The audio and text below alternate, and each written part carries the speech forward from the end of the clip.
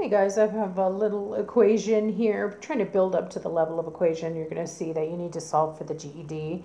Um, but in a few ways it is GED-like. Well, we've got more than one step.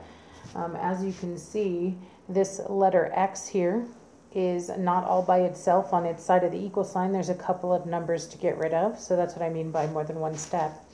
Um, another way it's like the GED is that uh, throwing fractions at you to try to freak you out. So don't freak out. Get armed with your calculator. You can use the TI to deal with the fraction, but you have to be the algebra ninja who knows inverses. Remember that we solve, we isolate variables. We get them alone on their side of the equation by doing the opposite or inverse operation. So here we go. Let's give it a try.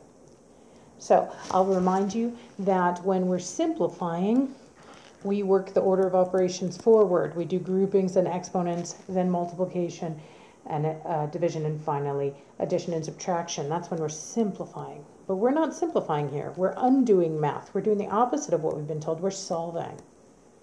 And when you're solving, you work the order of operations backwards. So it's super important that the what you get rid of first is anything adding or subtracting. And so a lot of students who do this problem wrong do the wrong thing first, and it leads to a very weird answer. So I see that this 5 here has a minus sign between it and the x. That 5 is subtracting with x. That's what I should get rid of first. So I'm going to get rid of it by doing the opposite. The opposite of subtracting 5 is adding 5. Now, literally, we can do whatever we want to an equation as long as we do it to both sides. So if I add 5 on the left-hand side, I'm going to jump across the equal sign. I'm going to add 5 on the right-hand side as well. And let's see what our new equivalent equation will be. So take a look at this left-hand side. Subtracting 5 and adding 5 are inverses. They're opposites, so they cancel. And what I'm left with now is 2 thirds x. And on that side, 9 plus 5, of course, is 14. I just do the math that I said I would do. And now my equation is one step simpler, but it isn't solved yet because x is not alone. We've got to get x alone. Now there's actually three different ways I know of to move x right now. So I need you not to stress about, um, I didn't see it her way, or, um, but one of the ways I know, whenever I have a fraction as a multiplier, I know a trick to get rid of it. Okay, and here's my trick. My trick is known as the reciprocal of a fraction. And this works because the reciprocal is the opposite of a fraction. So what I'm going to do is I'm going to take this entire left-hand side and I'm going to multiply by the reciprocal. Now the reciprocal is just a flip of a fraction. So whatever was in the denominator is going to come up here in the numerator. And whatever was in the numerator is going to come down there in the denominator. It's the fraction's reciprocal or flip. And this works because it's the exact opposite.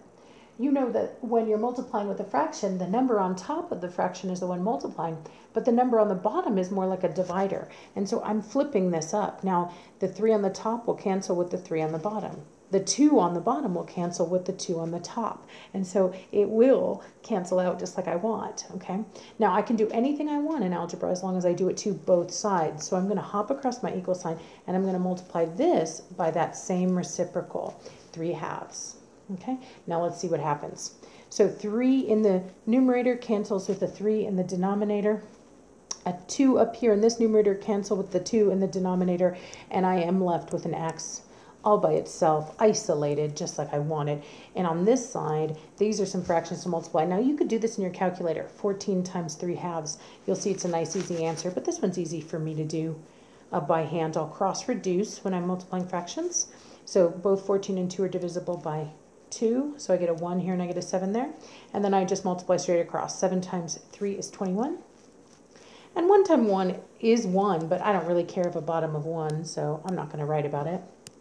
A denominator of 1 doesn't do anything. So x is equal to 21. And that is my final answer.